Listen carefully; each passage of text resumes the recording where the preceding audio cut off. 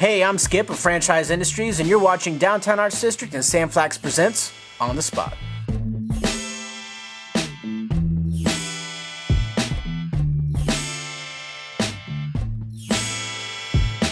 Alright, so I'm known for making a lot of my artwork using hand cut stencils and spray paint.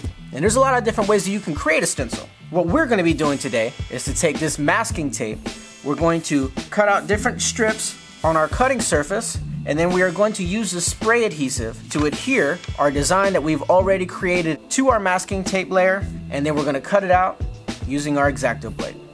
The benefit of using masking tape to create a stencil is the fact that it's already sticky on one side, which will result in a very clean line. Stay tuned for the next episode of Downtown Arts District and Sam Flax Presents On the Spot.